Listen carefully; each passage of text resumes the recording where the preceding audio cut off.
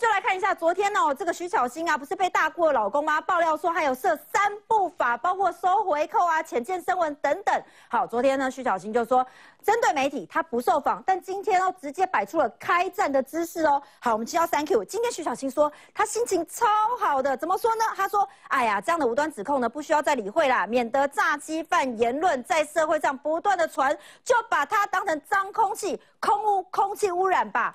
但不是说欢迎来查吗？那现在怎么又把人家打成诈欺犯呢？不可信吗？女强女强人出来发言，然后嘴上带这个呃言不由衷的事情，你这么爱回应，知道这个徐小新在台北市议会啊，记者给他的这个共识就是说没事找事做。哦，就是大般一般像刚刚我们有问题，然后会去问赖瑞龙，哦，会去问谁问谁问谁。嗯，那徐小新在台北市议会的时候跟记者说，欢迎来问我，好啊，或者是跟他没有关系的事情，他说我下午会在哪，赶快来找我。对，所以是一个踊跃发言的小同呃这个同学呢，啊，可是遇到自己的事情，居然罕见的先暂离一天，断线中离。好，那今天呢出来的时候，女强人哈出来发言，带着欢笑。强颜欢笑，那当然，这个司法的东西，我们还是讲究证据。那只是说，在这个时间点被指控，他有一些行为举止很可疑。第一个，周刊要报道前一天，他一定会查证。我自己的经验，我曾经被跟拍过三四天。那个前一天要刊之前，记者打来跟我讲说。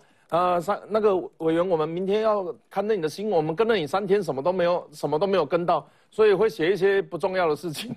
啊，然后本来是要叫你平衡发言，但是因为没有内容，所以就不需要平衡了。啊，哦，啊，就跟你告知一下，然后就这样子。可是徐小新的状况不一样啊，有人指控他浅见声闻、内线交易、收受回馈。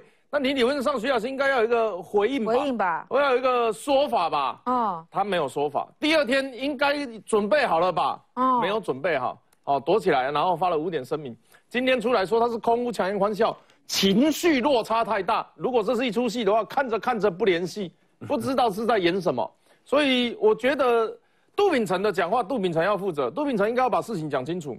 如果如如同大如同这个徐小新指控，他是一个呃一介草莽人士，嗯，一介诈欺惯犯，哦，甚至是家暴嫌疑啊？请问他怎么会知道浅见声闻呐？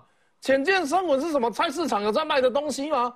浅见声闻，我那时候去，我我我坦白讲，我当地委去海军那边也有上好几次课，我记得是读到很后面的时候才才知道这件事情，因为他把整个构造设备都弄清楚之后，他后面在讲车业，在讲到声闻的时候，我们才听得懂。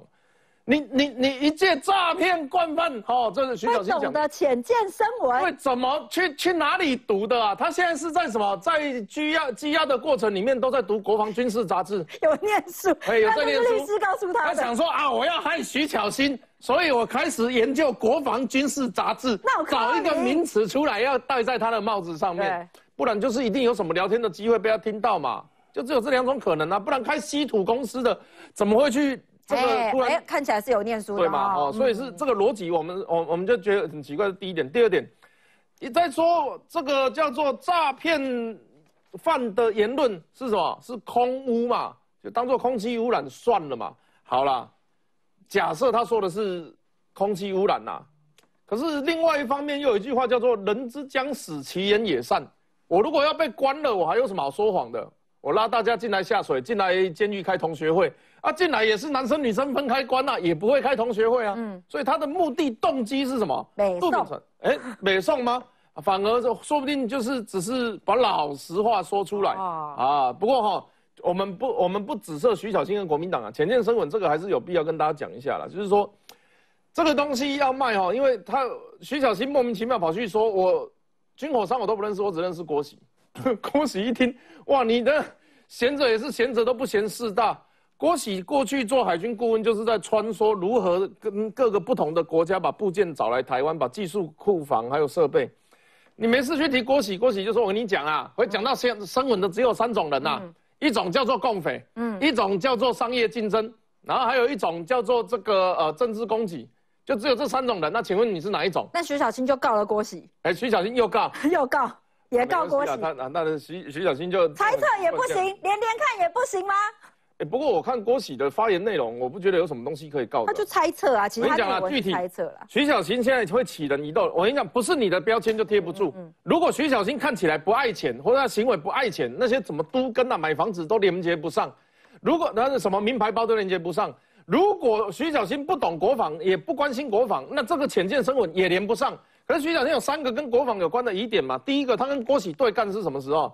是马文君深陷涉泄密案的时候，他突然跑出来拿一个录音带，什么七万字录逐字稿嘛？第一个那个东西是谁给你的？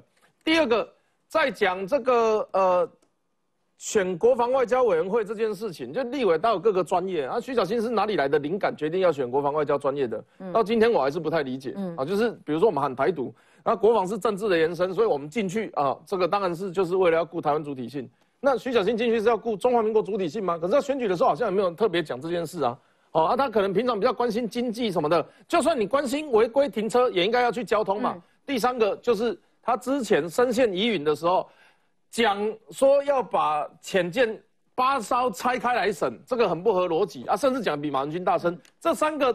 疑点才会让人家觉得，哎，你跟国防是不是有超乎想象的关系？好，所以就三 Q 来讲，他认为呢有很多的不合逻辑的地方。那还有一个很不合逻辑的地方啊，因为现在大家说呢，这个大姑老公啊，如果你深陷牢狱，你一定很需要这样的姻亲、这样的立委、这样的立委大大嘛？那你为什么把他拉下水呢？好，但现在徐小新说什么呢？他是诈骗犯，他不可信，媒体不可信。好，我们请教一下易三哥哦，因为他现在开告了，开告三个人，什么呢？周刊开告了大姑老公，开告了郭喜。但没有想到周刊现在也很硬哎，两边对杠喽。好，现在呢，因为镜周刊也说报道具有公益性，也会提诬告。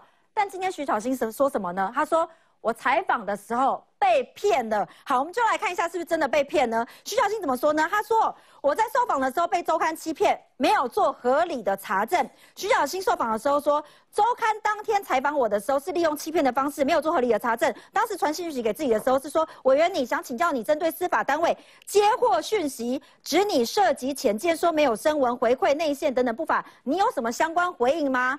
好，现在徐小新很在意的是，你怎么没有跟我说是大姑的老公说出来的呢？怎么只用司法单位呢？徐小青就说这个庭是不公开的，照理来说是侦查不公开。当他打电话给记者的时候，对方也没有讲。好，现在两边看起来。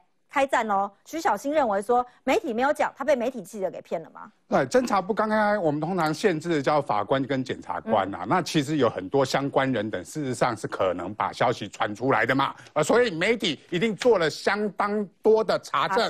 事实上，在媒体这篇报道里面，实质内容并没有讲得很清楚哦。他只讲了徐小新的呃姐夫叫杜秉成，他讲了三个案子嘛。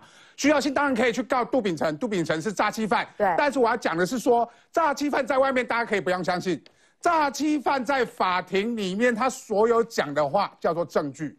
如果他敢讲错话，他没有证据的情况下讲了这些话，未来可能再加一条，不只是本案的诈欺犯的诈欺罪而已，他可能加一条叫伪证罪嘛，七年以上。嗯。所以你说诈欺犯在外面骗人，我们不要相信是对的。但是诈欺犯在法庭如果讲出来的话，是必须要有证据的。我现在要逃就来不及了，我干嘛还多一条证罪啊？对，所以诈欺犯在法庭里面是值得参考的。所以诈欺犯讲的这三件事情是徐小新必须去面对跟回应的嘛。第二个叫做媒体嘛，媒体做完充分查证之后，他尽量的报道，而且报道针对事实。而且媒体在问徐小信说：“你认不认识军火商？”就是这句话了。这句话不是套你啦。如如果你不认识，你就说不认识。像我就真的只认识郭喜啊，其他真的不认识啊。他说：“我想一想。”就是这句话起人一斗嘛。如果你真的不认识军火商，你第一句话就讲我不认识就好。他为什么说我想一想嘛？也就是说。其实媒体的这个问题，其实直指了徐小新的内心嘛。嗯。第三个叫郭喜，郭喜昨天徐小新在开告的时候直接讲，郭喜今天讲的话，我一定叫做胡说八道，我一定要去告他。那时候郭喜一句话都还没讲哦，他为什么那么怕郭喜讲出什么话？回过头来讲，徐小新跟军火商的关系什么时候开始的？就是从马文君的泄密案开始的吧？不要忘记了，马文君的泄密案，他把资料给韩国大使馆的时候，哎，很多人拿到资料，大家都不敢报，为什么？因为那个叫机密，没有人敢报。为什么你徐小新敢报？不要忘记了，郭喜在谈所谓的马文君泄密案的时候，直指哦，他是两个军火集团里面的竞争，所以有另外一家的军火集团找了马文君去把这个资料报给韩国大使馆，让韩国大使馆把给提供给台湾技术的那家军火商抓起来嘛。所以他其实陷入了所谓的军火商之间的竞争，而徐小新在去年去开这个记者会的时候，我们可以合理怀疑他是不是在帮另外一家军火商嘛？这就对价关系就出来了嘛？有所有没有所谓的接下来的所谓的厂商回馈跟股票的内线交易的问题嘛？这个我们不知道，这媒体我们也没报。但是让人家起疑窦的是，你为什么选上立委出之之后，你跟陆军没关系，跟空军没关系，跟海军没关系，你只跟王军有关系？你为什么去所谓的国防外交委员会嘛？那第二个问题嘛，第三个问题就是你。告郭喜，就是让他质质疑你进国防委员会是不是要取代马文君，因为马文君被盯上了嘛，取代马文君过去所扮演的角色嘛。马文君扮演角色，我们之前都讨节目都讨论很多了嘛。马文君扮演什么角色？就是在国防外交委员会里面去当军火商的一个前客，一个中中间人的一个关系，是不是你想要取代马文君？因为马文君被盯上了，所以种种的一道，徐小新。都没有解释，嗯，他采取的方法叫做一哭一个告，二告三转，三转转到王一川去嘛，嗯，我都讲最近于北辰将军，北辰将军在那边，等一下北辰将军可以讲，最近网络上最大的流量是谁？就王玉川跟于北辰，因为小粉红猛攻啊，所以所有徐小新一哭二告三转的目的，都是为了转移焦点，冲他自己的声量跟流量。